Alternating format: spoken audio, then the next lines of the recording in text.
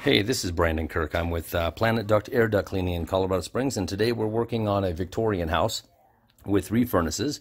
This is one of the old supplies, uh, supply runs here, and we can see there's a ton of debris down inside of this uh, this one, and, and even up here at the top.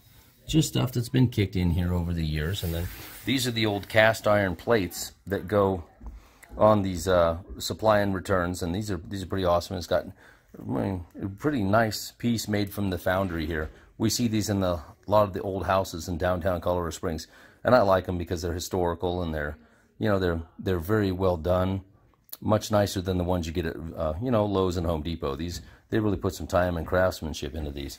But just want to show you, this is some of the stuff we find when we're working downtown on the, you know, older Victorian houses, and you know, some of the stuff we're going to clean out here today.